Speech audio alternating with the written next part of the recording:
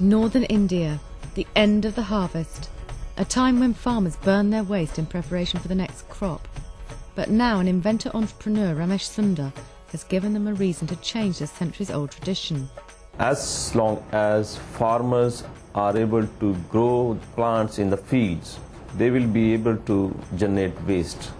B- Briquetting people are able to pay the, for the waste. We join Ramesh on a journey to find out more about his groundbreaking invention. Now we are reaching to the briquetting plant, biomass briquetting plant, where you will see how the biomass fuel briquettes are being made. Production plants to compress agricultural waste into biomass briquettes are not new in India, but demand has been limited to fueling kilns to fire bricks.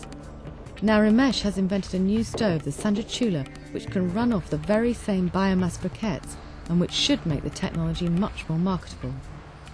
And Sanja Chula is basically equipment which is or which works on biomass briquettes and is, it has no smoke, no ash, and gives maximum possible efficiency. Uh, we arrived at a school where I have installed Sanja Chula uh, six months back. Come with me, I will show you how it works. We have seen the briquettes at the briquetting plant. I will show how these are being used in Sanja Chula. The Sanja Chula cooker saves money by burning the fuel and using the heat efficiently. Inside of this is first pot. It's called first pot, and uh, combustion is going on. Three electric fans blow air into the cooker, feeding the briquette with a constant supply of oxygen and ensuring smoke-free maximum combustion. The same heat goes to the below the water tank. The fixed 450 litre water tank provides hot water on tap. The walls of the cooker are heavily insulated. And the heat is not escaping from the ch- chula, and uh, you are not facing any uh, accidental fire. Ramesh has installed 12 cooker stoves in special boarding schools for children in rural areas as part of a deal with the local education authority to replace the old stoves that were fueled by liquid petroleum gas.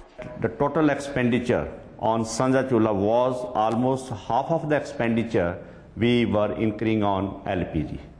If we spend more on fuel, then the quality of food is supposed to be go down. And if we use this biomass, then we can enhance the quality of food and good for health of the students. This plate is empty because the food is very tasty. So I like all the food, especially chapati. It is very delicious, lovely. After paying the cost of Sanja Chula, we can provide quality food and a nutritious diet to our children from our savings. The success of the Sanja Chula stove has been beneficial all round. As the stove is used almost daily, the demand for biomass briquettes has rocketed and both the plant and farmers are able to make more money. We used to burn the waste in our fields. Now we are happy that we have a briquetting plant nearby, as we are able to sell our waste to them. For my fields, I am able to get between four and five thousand rupees for this waste.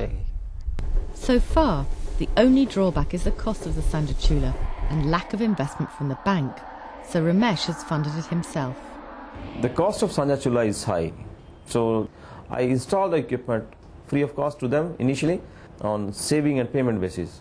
So they pay me monthly. So uh, my cost is being paid within a one year time. Fortunately, Ramesh is a finalist for the Ashden Awards. Right now, what with, with my own money, I am able to have capacity of one equipment in a two month time. See, now if I am getting this Ashden money and the first prize, I will be able to have capacity of five equipment in a month time. So that will make a lot of difference to me. The environmental benefits of the Sanja Chula are clear. It replaces imported fossil fuels with a locally produced carbon neutral source of energy and can prevent emissions from the burning fields. Approximately 300 million tonnes of crop waste is produced in India every year, and there are thousands of institutions, army bases, prisons, and plantations which need large scale cooking facilities. Worldwide, the demand is great too. We are sure on one day we will run out of petrol. Sanja Chula will always be working on biomass. And mankind will be never have a shortage of biomass.